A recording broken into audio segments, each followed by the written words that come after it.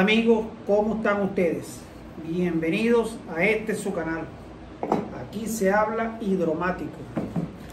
En esta oportunidad vamos a estar hablando de ese error que cometen muchos cuando bajan una transmisión automática.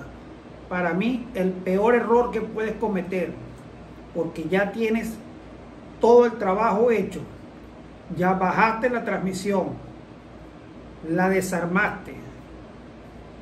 Y ahí es cuando cometes ese error de no repararla completa. Le cambias nada más una parte de la transmisión automática. De eso vamos a hablar en este video. Antes quiero dejarte la pregunta de cuánto has aprendido de transmisión automática en este canal. Si eres un amigo suscriptor o eres nuevo en el canal o estás viendo este video, la idea es que ustedes se vayan familiarizando con la falla para que cuando tengan algún problema ya sepan cómo reaccionar. Ese sería el éxito de este canal, que ustedes aprendan cómo reaccionar cuando tienen una falla y qué es lo que tienen que cambiar. Si yo le digo a ustedes, por ejemplo, tengo un bote de aceite por la bomba de la transmisión automática, por la parte de adelante. Esta es la bomba y está botando aceite por aquí. Ya bajaste la transmisión automática para cambiarle, para revisar por qué bota aceite. ¿Qué le cambiaría a usted? Opción A, la estopera le cambiaría la estopera, es la opción A. La opción B, le cambiaría el buje, es lo que va aquí, lo que aguanta el convertidor para que no tenga juego. Opción B, el buje. Opción C, le cambiarías el sello, que es el que va aquí, y la empacadura que va aquí. Esa es la opción C. Y la opción D le cambiaría todas las que dije, todas las anteriores. Déjalo abajo en los comentarios. Al finalizar el video te voy a dar la respuesta positiva. Lo que debe de cambiar. Ahora vamos, ¿cuál es el peor error que cometen muchos cuando bajan la transmisión automática y no la reparan completa? Solamente le cambian lo que está malo. Vienen y bajan la transmisión automática y se dan cuenta nada más que como el vehículo no hacía el segundo cambio, desalmaron el tambor que trabaja con el segundo cambio y le cambiaron nada más los discos que estaban dañados. Sacaron los discos y cambiaron los discos. Listo. Vamos a comprar esto que es nada malo que está malo. Porque están quemados porque no sirven. Lo vuelven a montar. Los discos nuevos, que era lo único que tenía malo la transmisión y la vuelven a montar. Después la transmisión empieza con problemas.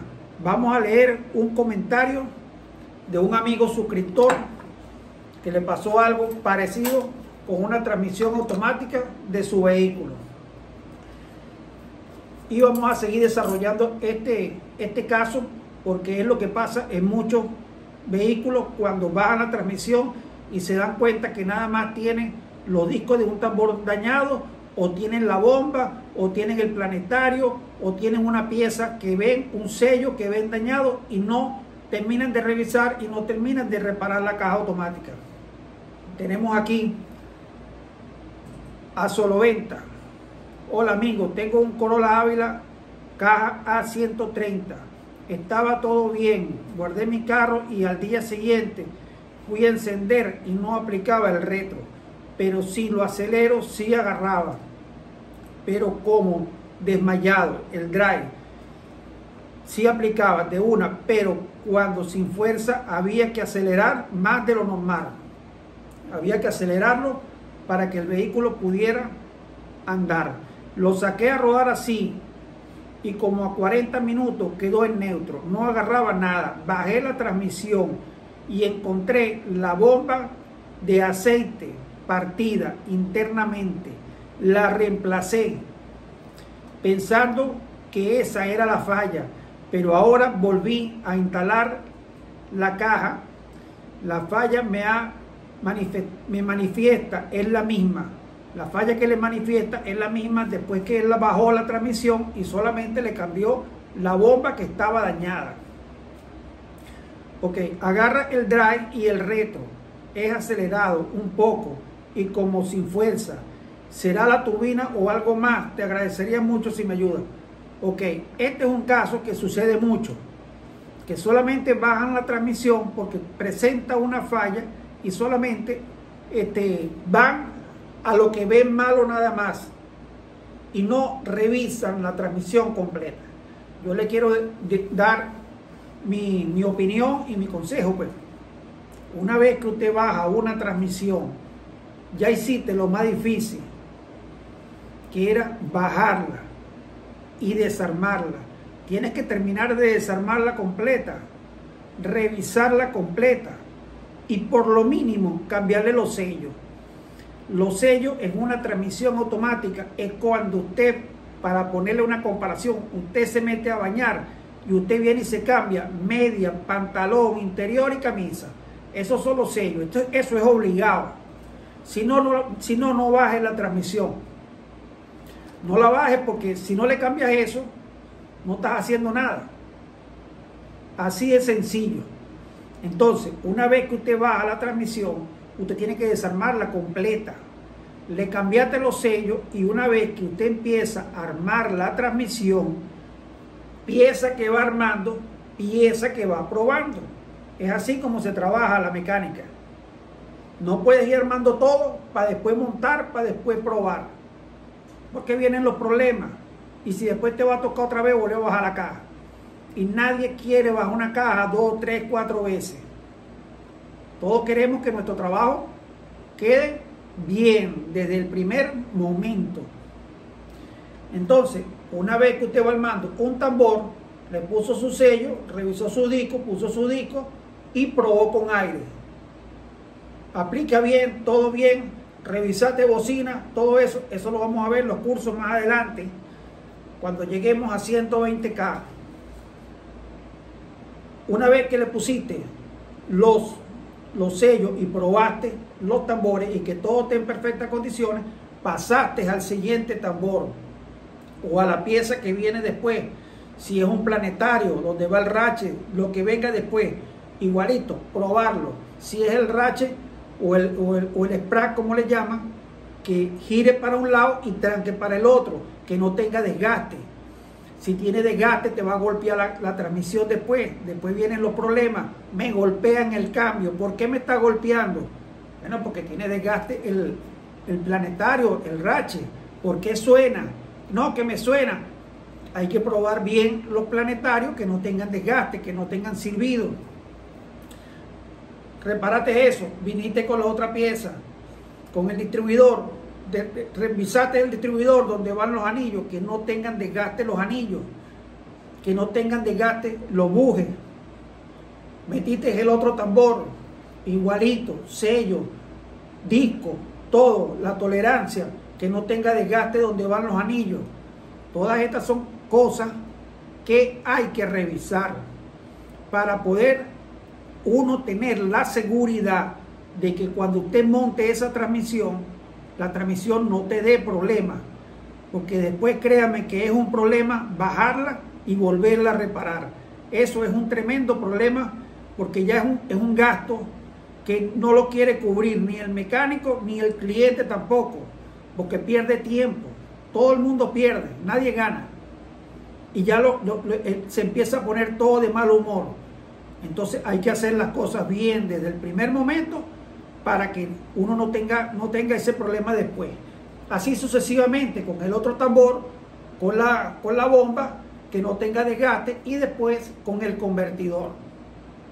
Ya el convertidor es la última pieza que ya uno tiene que revisar y generalmente tiene que abrirla para ver si, si es un convertidor modelo nuevo, ella usa disco interno y hay que revisarlo, que no tenga desgaste los discos. El disco para que no vaya a crear problemas de que te esté tapando el filtro. Pasa mucho eso también, que reparan algo aquí en la caja y no, y no reparan el, el convertidor. Y después viene, me está tapando el filtro, ¿por qué me lo tapa? Cuando le hacen la biopsia, en el canal tengo videos de la biopsia, cuando le hacen la biopsia, ven que tienen partículas de disco. Y esas partículas de dónde vienen? Del convertidor. Entonces hay que hacer eso también, hacer el, trabajo al convertidor y por último el mantenimiento al cuerpo de válvula. Esto es muy importante, el cuerpo de válvula, es como el corazón. Si usted lo deja sucio va a tener problemas. Hay que limpiarlo. Y después que usted repara toda la transmisión automática, viene lo más importante también, soplar las tuberías de enfriamiento, soplar el radiador, limpiarlo. Si dejas el radiador sucio, todo ese sucio se vuelve ahí para la caja, aunque la hayas reparado y aunque la hayas limpiado bien. Es una serie de cosas que tienes que hacerla y hacerla bien. Una vez bien, te olvidas de caja 15, 20 años. Así es como funciona esto. Hacerlo bien una sola vez. O por lo menos tratar de hacerlo lo mejor posible. Bien amigos, si vas a dejar algún comentario abajo de alguna falla que tiene tu vehículo, no olvides dejar de qué vehículo estamos hablando, de qué año es, es muy importante eso, de qué color tiene el aceite, la transmisión, no de qué color cuando le cambiaste el aceite, no, sino qué color tenía cuando el aceite estaba con 10, 15 años puesto en la caja. No, porque muchas veces me dicen, no, el aceite está rojo. ¿Y cuando se lo cambiaste? Hace dos meses. No se le puede ver la lectura a un aceite que tiene dos meses. Entonces, el color del aceite, el año, el modelo del carro, si el carro está este, presentando fallas en frío y en caliente, todos estos detalles son importantes a la hora de darte una respuesta. Acuérdense bien, una buena pregunta, una buena respuesta. Hasta un próximo video. Saludos.